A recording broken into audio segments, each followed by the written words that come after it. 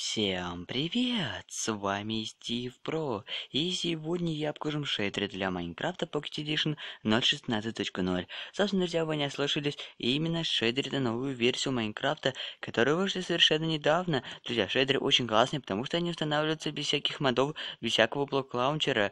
Да, это вправду, друзья, официальные шейдеры, но не официальные, точнее, они устанавливаются официальным способом. Но есть один баг, связанный с досками. Но, друзья, это только первая версия шейдеров, поэтому в скорое время времени все будет исправлено. Друзья, теперь ПКшники завидуют нам, потому что шейдеры мы можем устанавливать без всяких модов и без всяких и вправду программ. Но основное, друзья, лава поменялась, водичка тоже стала прозрачной, и она теперь движется. И это очень классно, в том числе, друзья, и круто. А мы видим также, а, появился маленький туманчик, и, конечно, снизился, снизился FPS, но мы видим, что вода шевелится просто супер.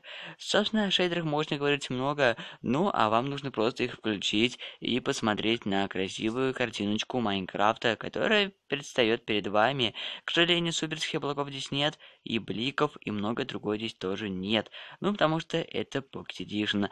Собственно, коровочка, что ты здесь делаешь, наверное, тебе скучно.